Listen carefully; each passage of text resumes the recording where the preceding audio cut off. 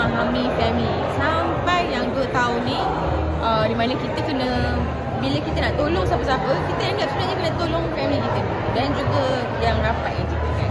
So Mimi rasa um, sepanjang 2 tahun ni Mimi rasa Mimi punya family Alhamdulillah makin rapat. Uh, makin apa ni makin makin erat lah. Mimi tak nak tak, kita tak pernah explain kan bila benda macam terjadi. Kita just rasa macam eh connected sangat dengan family. Yang Mimi rasa inilah. Dalam banyak-banyak benda yang jadi dari sepanjang covid this is one of the thing yang Mimi rasa Mimi sangat-sangat appreciate lah. Uh, my bond dengan family just get deeper. Itu, bergantung kepada jodoh lah ya. Uh, tapi Alhamdulillah sekarang Mimi happy. Mimi sangat happy. Nak cakap. Uh, Mimi happy, Mimi sangat happy. Um, Mimi rasa um, sekarang Mimi lebih memahami. Setelah Mimi bercerai, 2017 Mimi cerai. Dan um, 2018, 19, 2020 dah 5 tahun Mimi single and jumpa orang and dating around apa semua. Sekarang Mimi rasa macam I get my power back as as as who I am. Uh, I love myself more now. Uh, Mimi lagi lagi macam comfortable with myself. So Mimi rasa maybe sebab itu when you love yourself, everything yang you nampak pun beautiful. Uh, support Mimi. Mimi rasa kan macam ini adalah salah satu benda yang wanita perlukan. Kalau wanita yang berkerjaya especially, kita nak kita nak orang support kita. And boleh apa bagi kita space untuk grow.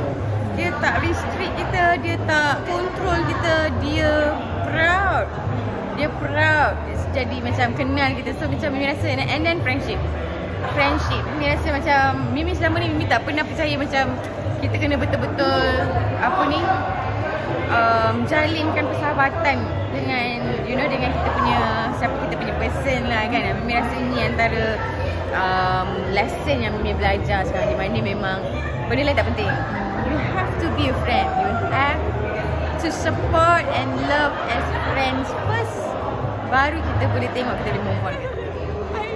Uh, Mimi rasa just uh, dia kena lah, kena di jiwa.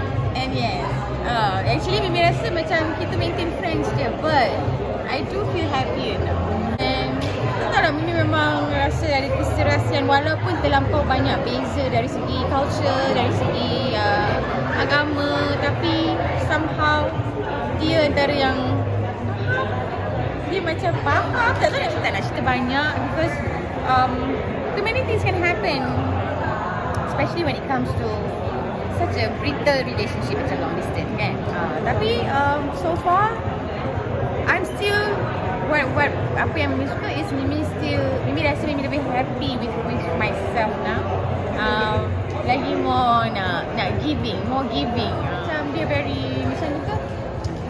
Nampak macam dia nak dia nak chill dengan Mimi so Biasa yang Mimi boleh cakap is I'm happy lah. I'm happy with my life. Mimi actually dah uh, closer with my family um, Mimi always dengan family.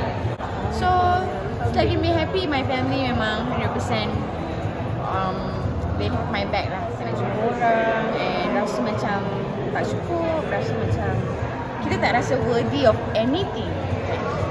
Uh, Now we rasa macam my energy is back, I feel like I'm back.